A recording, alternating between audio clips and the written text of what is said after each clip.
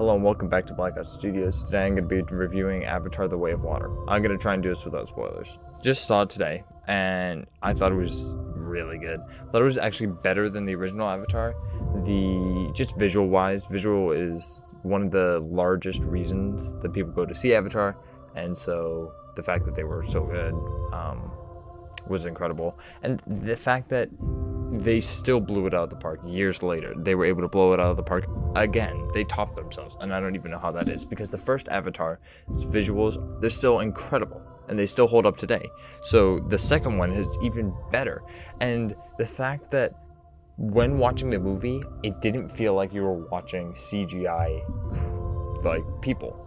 You it felt like these people existed and you were a part of that world. And it was that's just such a cool thing and the fact that you can get that out of a movie like this is just incredible. Or at least that's what I got out of it. I saw it in IMAX 3D, which I 100% think is the best way to see it. It was an incredible experience, and I had a ton of fun with it.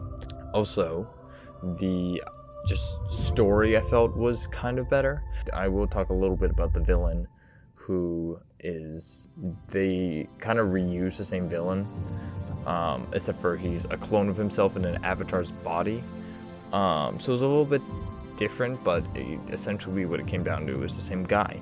But somehow I wasn't upset about this.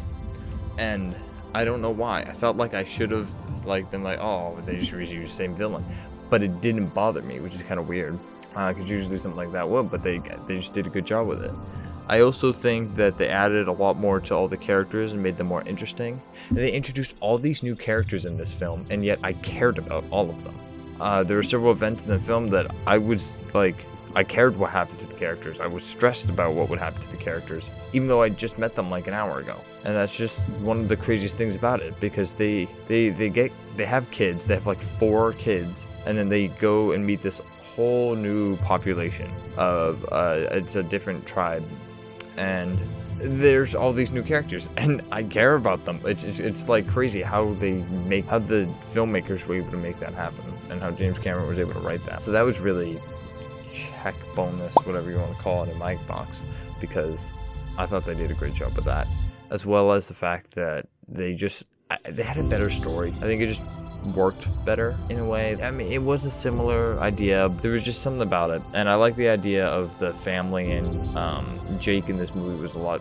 I liked him a lot more than I did in the first one. So there's that. So like the first one was about pr protecting the forest.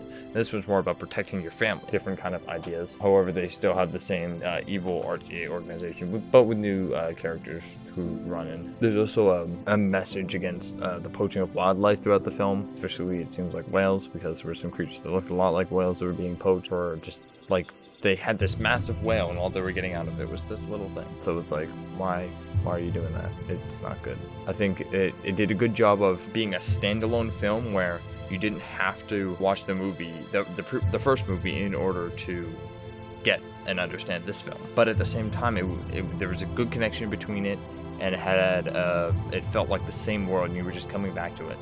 And I mean, on all honesty, he outdid himself in this movie. I went into it with eh, expectations, not sure if it was going to be as good or anything because it's been 13 years. So my excitement was, mm, I mean, obviously it wasn't 13 years for me. I didn't watch it when I was three, but still, I watched it a long time ago. So I was kind of worried, but man, I was, I was very happy with the results. It's just, it's just so good. So if you haven't seen it, make sure to go watch it. Uh, it's kind of a short, quick uh, video. Thanks for watching. Bye.